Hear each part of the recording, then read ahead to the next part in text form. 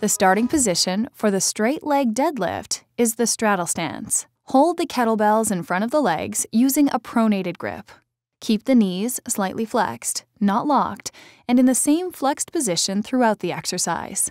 On count one, flex forward from the waist, keeping the head in line with the spine to avoid extending the neck.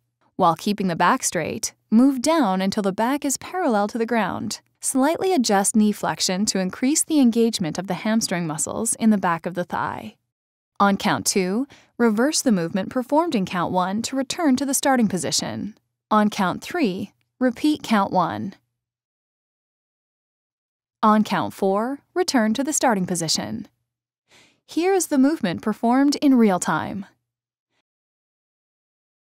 Complete one minute of repetitions, stopping to rest if necessary, or adjusting the weight and range of movement to match the required performance.